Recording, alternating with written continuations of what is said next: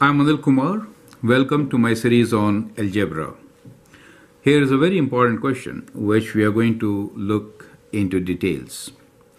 We want to consider sum of a number and its reciprocal and what happens to the sum of their cubes. That means sum of the cube of a number and the reciprocal cube of the number. So related to this, we have four questions. These questions are actually very popular in many multiple choice test papers. We'll also learn few tricks to solve them within a second. Question number one here is, if x plus 1 over x is 4, then x cube plus 1 over x cube is what? Four choices are given to you.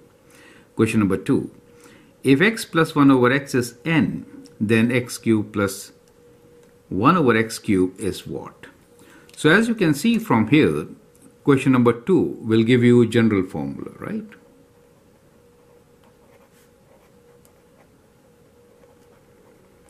And we can apply this general formula to find the value when the sum of a number and its reciprocal is any number, right? So that is the trick. Once you know this formula, which is one of these, then you can get the solution in few seconds. Question number three here is, if x plus 1 over x is minus 1, so that's a special case when n is minus 1, then what is x cube equals to, right? So this unit block, x cube is equal to. So one of these. And once you understand this, then any question related to powers of cubes can be very easily solved. You understand? So I hope you appreciate the strength of this particular question. And now let's look into how to solve and how to learn the tricks about solving such things within few seconds. So let's begin with the question number two itself, which provides us with a general formula. So we are given x plus 1 over x as n let us try to figure out what should be x cube plus 1 over x cube. So we know x plus 1 over x is equal to n, right? Now, if I cube both sides,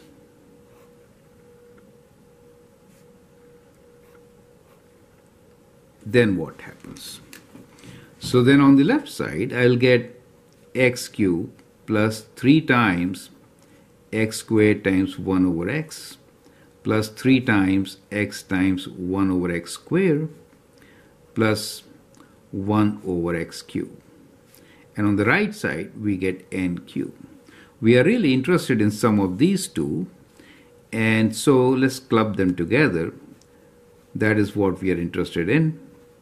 And what we have here is 3x square plus 3 over x because one of these x's cancel, correct? So you could cancel this, you could cancel this, so you get that equal to n cube.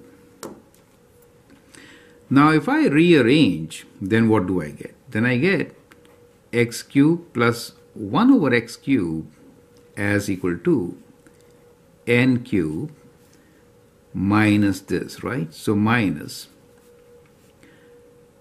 3x minus 3 over x. Think like this. We have n cube minus, I can take 3 common, right? So if I take 3 common, I get x plus 1 over x. Now, you know what is x plus 1 over x? It is n. So what you get here is n cube minus 3n. So we can write that x cube plus 1 over x cube is basically n cube minus 3n. So that becomes our formula. So the answer here is it is n cube minus 3n which is the last option. Correct? So, so I hope that helps. So this small derivation of few steps really helps you to understand how to derive and remember the formula. So if x plus 1 over x is n, then x cube plus 1 over x cube will be n cube minus 3n. Now we can just apply this formula here. We know n is 4 here, so that should be how much? It should be 4 cube minus 3 times 4, right? Which is 64 minus 3 times 4, which is 12. So 64 minus 12 is indeed 52. So the option is D. Is that correct? So, so that is how we actually get a very important relation. So let me write down here that if x plus 1 over x is n, then x cube plus 1 over x cube will be n cube minus 3 times n. Right? So I hope you understand and appreciate this part. Now let's look into the second part. So we'll actually begin with x cube plus 1 over x cube is n cube minus 3n. So this particular formula and then look further into question number 3 and 4. Let's look into the cases when x plus 1 over x is either plus 1 or minus 1. So here are two questions. In question number 3, you will note we are talking about x plus 1 over x as minus 1, correct? Then find x cube. This is a very important question. So let's derive the result. We just found that x plus 1 over x, if it is n, in that case, x cube plus 1 over x cube will be equal to n cube minus 3 times n. Now see what happens when n equals to minus 1.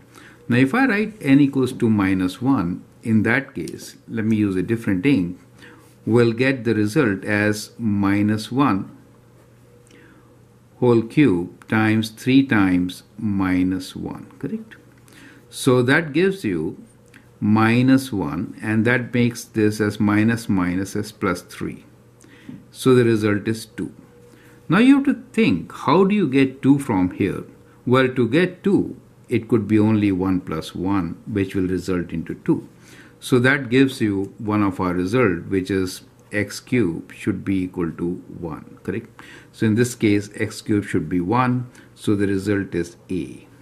Is that clear to you? Correct? Now, let's look into the second case. Now, this is a very important result. If x plus 1 over x is minus 1, then x cube is 1. Okay, so you can actually find a solution to many questions from here. Now, let's look into the second case when, when uh, let's look into question 4, which is x plus 1 over x is plus 1.